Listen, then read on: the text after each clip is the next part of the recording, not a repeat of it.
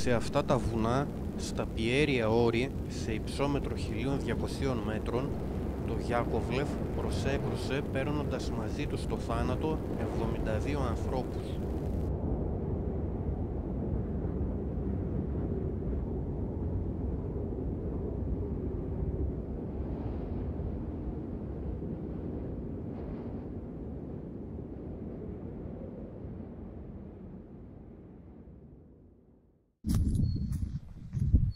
Μερικά μέτρα από το σημείο της συντριβής, ένα μνημείο για τις αθώες ψυχές που χάθηκαν τότε.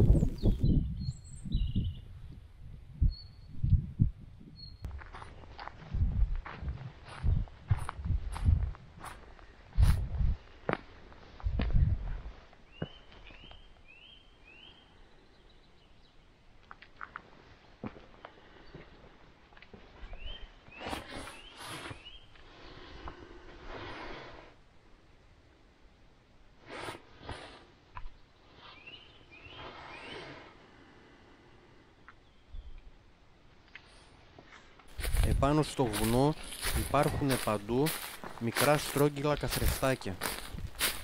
Ίσως να συμβολίζουν τις ψυχές των ανθρώπων που χάθηκαν.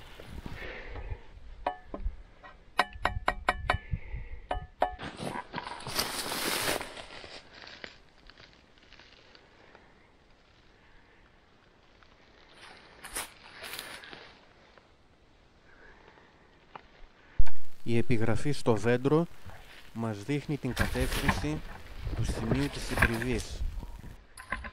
Αυτό είναι το σημείο όπου προσέκρουσε το αεροσκάφος.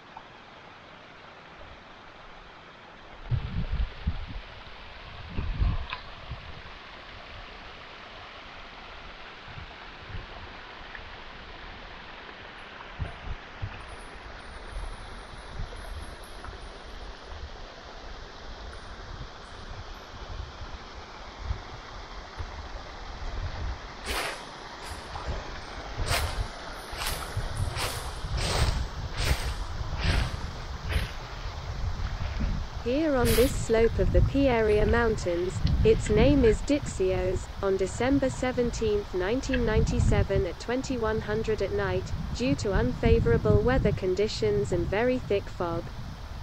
The Ukrainian aircraft number year 42334 Yakovlev, as it was coming from Ukraine for Thessaloniki, crashed, instantly killing all 72 passengers. Walker of Life. Pray for the 72 innocent souls who perished. Δίπλα από την εκκλησία, μερικά συντρίμια του αεροσκάφους.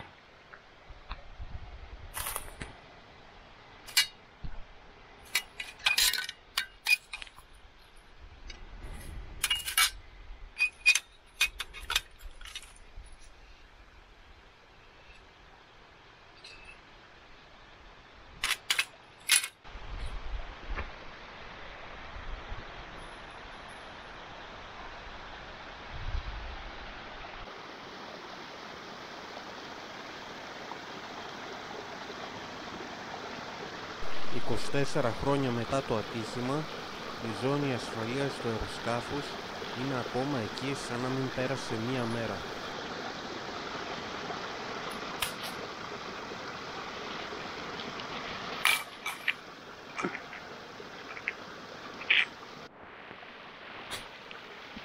Ό,τι απέμεινε από ένα καροτσάκι μωρό.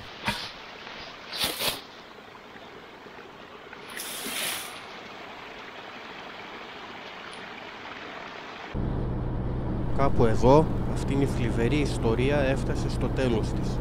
Ραντεβού στην επόμενη περιπέτεια.